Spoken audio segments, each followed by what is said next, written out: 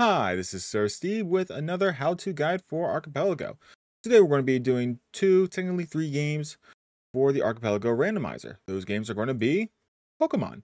So what we're going to be doing is Pokemon Emerald as well as Pokemon versions Red and Blue. See, technically three, but Red and Blue, technically the same game, potato potato. So what I'm going to do is I'm going to guide you through the Emerald version first, show you how to get it connected, and then I'm also going to go into the red and blue a little bit later on. They're majority the same, just that one or two little changes here and there. so first things first, let's go into Pokemon Emerald. Now, what you're going to need is you're going to first need the Archipelago file or Archipelago application, and that can be found through their website on their GitHub page. What you're going to want to do is make sure you select the latest. The latest version is the most stable and most consistently working. Once you find the version that has the latest for today, it's going to be 0.6.1. Scroll down here so you see the archipelago.exe file. Click on that, download it, run it, and it'll walk you through all the steps needed in order to get it all set up. Once that's done, you're going to also need a legal copy of Pokemon Emerald. You will need to find your legal copy of Pokemon Emerald. We will not be able to supply you one and then you're going to need to get BizHawk. Now, for BizHawk, what you'll need to do is go onto here, and me personally, I would recommend getting my version, which is the 2.9.1. Reason why I have this version is because it allows me to skip through some steps later on. Versus if you get one that's 2.7, eh, 2.7 or 2.8, those require an extra step here and there, which I won't necessarily be able to go over in great detail, but I'll still hit on. So with that said, once you've successfully installed BizHawk, what you'll need to do is launch it and go into the configuration of it. Launching it here. It'll, once you launch it, it'll look just like this. What you want to do is go into configuration and then customize. Now, if you have the 2.7 or 2.8, you'll need to do an extra step of setting up this NLua+KopiLua to Lua and Lua interface and then restart the system. This is a step that I do not, that you don't need to do if you're on 2.9 and later. What you instead need to do on 2.9 and later, as well as 2.7 and 2.8, is to make sure that this run in background option, a little bit small text, but run in background option has to be checked. And me personally, I would also suggest using the accept background input only from controller. That way, you'll be able to continue playing if you accidentally click off. Once that's done, you might want to do a restart, and then you'll be able to get everything all formatted and set up for the actual archipelago. Now, if you want to get into the controller configurations, what you'll need to do is first launch a game. As you can see here, controller is grayed out, which will prevent you from being able to, well, launch the game. So what you can do instead is launch the game, It'll open up a new window. You might need to do a right click open with option. Get into the BizHawk. And now that it's open and running, you just go into controllers. And from here, you'll be able to select what you want to be for certain inputs. Now I have it set up so that way it's the D-pad on a on a um, controller, be it GameCube, Xbox, or PlayStation. Note that it does only work when it's wirely connected. For some reason, the wireless connection controllers do not work. As soon as I figure out how to make those work, I'll be happy to show an update to this. But for the time being, it seems that wire controllers is the way to go if you're going to be using a controller, or you can just set it up with your own personal keyboard configuration. So once you go through these, it's just like, hey, for my controller, I just want it up to be up. It already has that, down to be down, so on and so forth. Now, with that all set up, you would then hit the save option and be able to continue through the game. Go on through A-OK. With that, I'm going to hide that for later. Once you've done that, all that, you've now set up the prerequisites to be able to actually start the archipelago version of the game. So now what you're going to need to do is you're going to need to go into the options field and set up a randomizer. For this one, we're just going to have it named as Pokemon. We're going to make it so that, let's see here. Make starters completely random just to show proof that, hey, it does work. Generate a single player game. Generations, generations, generations. Create a new room. Now it's going to offer this download patch file. This is why we need the Archipelago application installed. Because when you download it, it's going to show this option of a dot APE emerald. This needs to be ran and it'll go through the archipelago file. Another thing that will happen during this step, which I failed to capture properly, was that it will ask you for locations of where the emulator is, as well as where the game file is, so that I can appropriately make the patch. You'll get a screen that looks similar to this, where it will ask for, whoop, where it asks for specifically, hey, where is this game? Then it'll give you the information of what it's looking for at the top of the screen. Once that is all said and done, whoop, sometimes it does run into an exception error where it does not like something or something similar to that.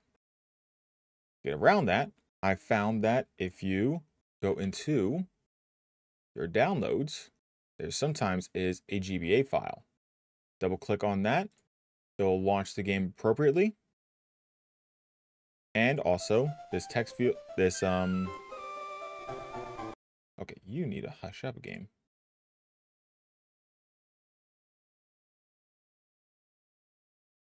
Um, you'll give you this text field where you'll just be able to add in the room number. So 62432, connect. It'll show everything is connected.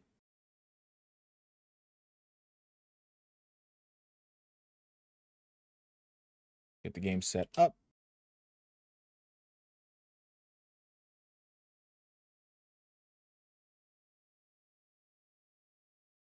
It is a little slow at times. At this point, I'm probably going to just show how you zoom on through this.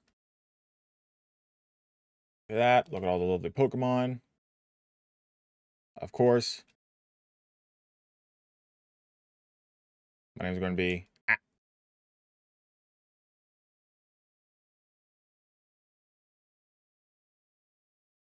Bum, bum, bum, bum, bum, bum, bum.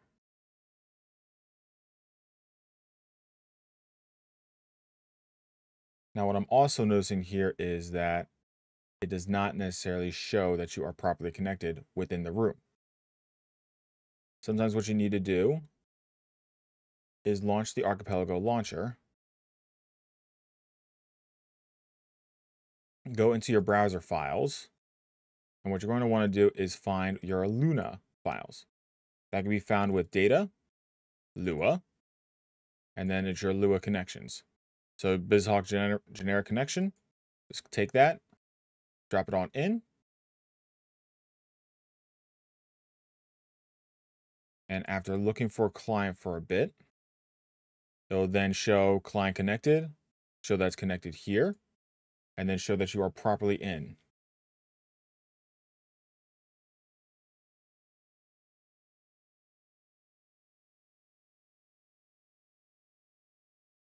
So now we're going to just zoom on through.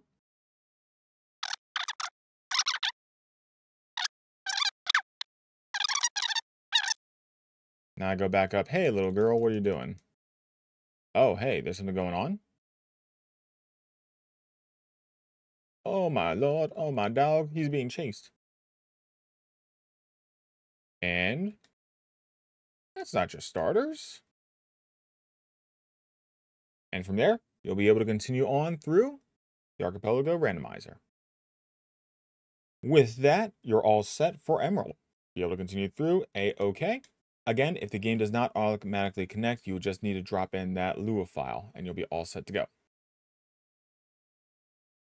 What I'm going to do is I'm going to close out of everything. Exit out of the Emerald version. And we're going to then go over to the red and blue. Again, just about everything, same exact steps for the pre-setup. The only difference is that you'll need a legal copy of red and blue. I'll correct here, this should be, double check and make sure. This is, yep, this is a game version of red. So create a new room, We're going to download that patch file. Same exact setup as we did before. Open the file. For me personally, I've been having issues with it not properly showing up, giving an error message.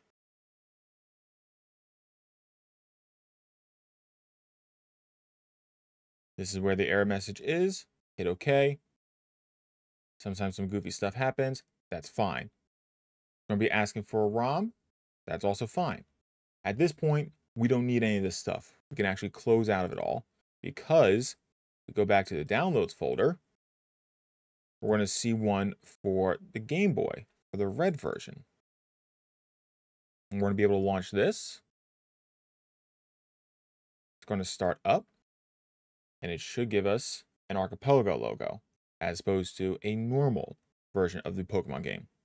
And again, it should prompt you of, hey, where's your Pokemon Red file? Hey, where's the BizHawk file? All that stuff to try and get through setup. And again, what we're going to need to do, open up the Archipelago launcher,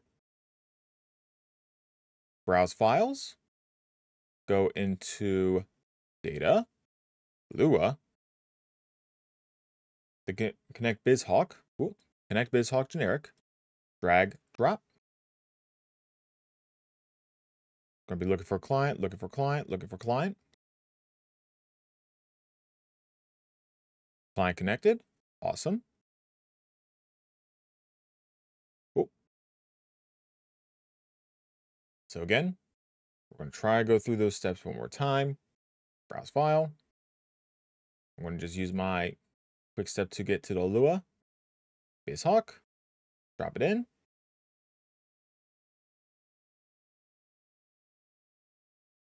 client, client, client. Just want to just double check over here.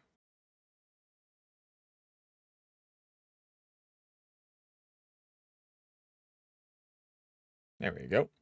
So you actually have to hit the BizHawk client specifically and I'll be able to get connected to the game and get all that set up. Make sure the numbers match. Hit connect. This is connected. This will say client connected.